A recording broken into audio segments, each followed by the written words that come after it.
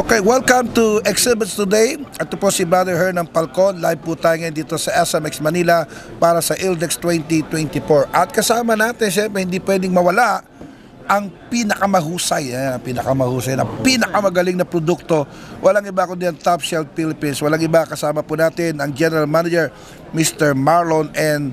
Regachuelo. Magandang umaga, sir. Magandang umaga po.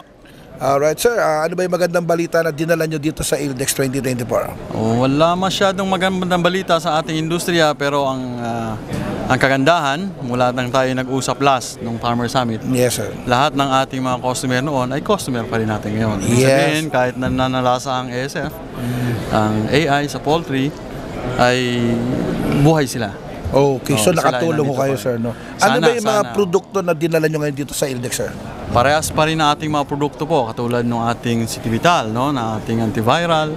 Meron tayong ah, ngayon anticoccidia, mga antibacterial, um, at saka mold inhibitor. Yan. Marami na rin ho. Marami na, marami na tayong ah, produkto, no, na nakalinya para sa industry. At ah, still na nagde-develop kayo ng mga iba At pa patuloy produkto. pong ah, lumalaki, yes. Okay, sir, meron ba kayong website at telepono na pwede kayong kontakin uli, sir? Yes, meron naman po. Ah, pwede nyo kaming ah, ma-reach sa aming corporate line, 0919-374-1099 sa aming opisina o kaya sa email, no? Just email your concerns or any inquiries sa sales.marketing at topshelf.com.ph. Okay, sir, are you also uh, welcome, siyempre, welcome pa rin kayo hanggang sa mga distributor, tama ho, at sa mga wholesaler? Mm, meron na po meron na po tayong Ah, distributor. ano, distributors and direct markets na Direct tayo market. sa Luzon in Mindanao.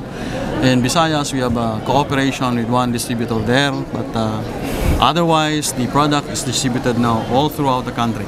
Kumbaga, laganap na Laganap. ang kagandahan ng Top Shell. Of course. Alright, maraming maraming salamat po. Pag ito, pag ito talaga ang aking kausap eh, talagang very confident ako na dadami na naman ang aking view. So please share and like this video.